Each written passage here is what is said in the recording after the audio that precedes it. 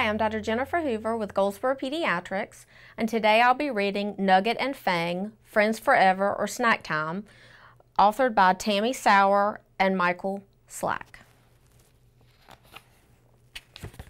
Nugget and Fang.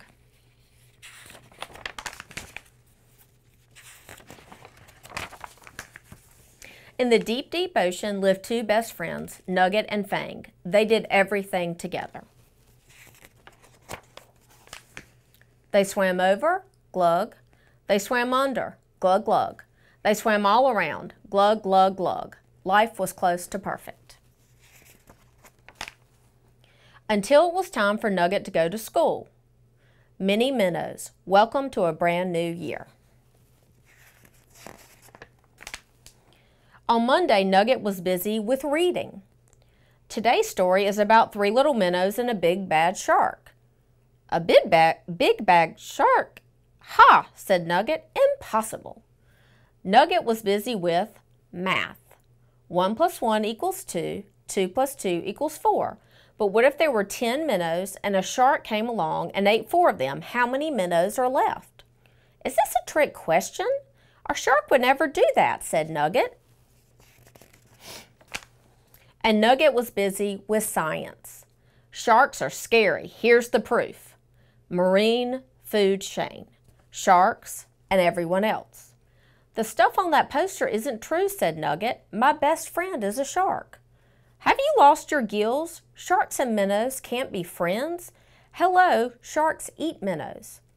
Nugget was shocked and apparently delicious.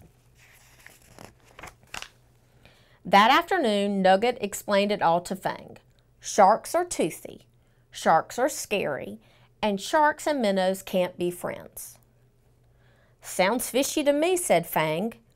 It's true, see, said Nugget. He held up his test, then he swam far, far away. Fang's heart sank. There was nothing he could do about being toothy, but he needed his best buddy back. He had to prove he wasn't scary. On Tuesday, Minnie Minnows had a surprise visitor, a very big surprise visitor. The visitor gave Nugget his friendliest smile. Shark, swim for your lives! Oh my algae, said Nugget, it's Fang. On Wednesday, Fang tried a different approach. Dear Nugget, I'd love to have you over for dinner, sincerely Fang. He wants to eat you for dinner. Holy mackerel, said Nugget. On Thursday, Fang tried everything he could think of a tattoo, a special delivery, a song and dance, but nothing worked.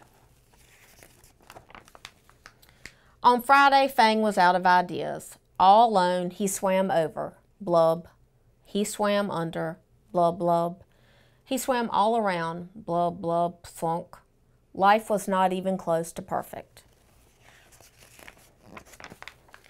Fang was so busy boo-hooing he didn't even notice a net drop. Down, down, down, right on the Minnie Minnows. Oh no, I feel seasick. We're the catch of the day. The net pulled up, up, up. Somebody help! Fang squinted. Nugget? He had to do something, but what? Fang fanned his gills. He wrung his fins, and then, ping! Fang had a plan. Fang's big sharp teeth chomped. Fang's big sharp teeth chewed. Fang saved the Minnie Minnows. All the minnows stared. I know, I know, said Fang.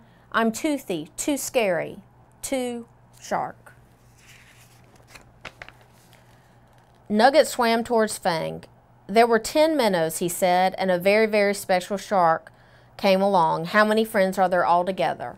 There was only one answer. In the deep, deep ocean lived 11 friends. They swam over, glug, they swam under, glug, glug, and they swam all around, glug, glug, glug. And everyone was all smiles, especially you know who.